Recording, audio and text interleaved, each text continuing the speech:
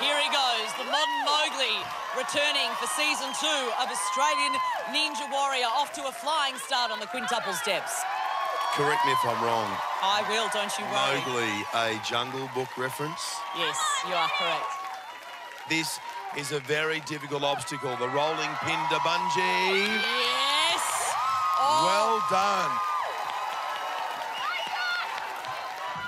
oh whoa! This is really quick. He's 10 seconds ahead of Alex Matthews already. Now he's down to business because the t-shirt comes off. We see a little bit more of the modern Mowgli. He's carving through this, Freddie. Wow, you can tell that this boy has done some ninja training, just flying through the course. He realises the mistake he made last time was being too slow. He's not going to do that again. Yeah, the mistake many have made tonight is touching the water right now on this obstacle. Lauren Hannaford did it, Corey Worthington, Andrew DeGiorgio. Got to keep that bottom up, desperately close to the water.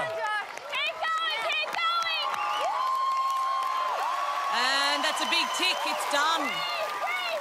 It's big wheel time now, test the tramp. He is looking fast, really fast. The best time so far was Alex Matthews at 2 minutes 3 seconds. That is tough to beat. And he is there. Oh, look at the swing. That'll do it. He nearly hit his head, he went so high there. He almost went over the top of that wheel. Whoa. He is building some serious momentum for the dismount. Will he go this time? Yes. I don't think he's going to stop, Beck.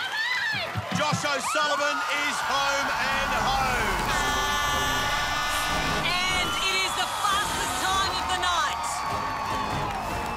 Josh was a bit too slow last season, and didn't he take that to heart? A man on a mission. He powered through the course to finish 1 minute 49 seconds, beating Alex Matthews by a massive 14 seconds.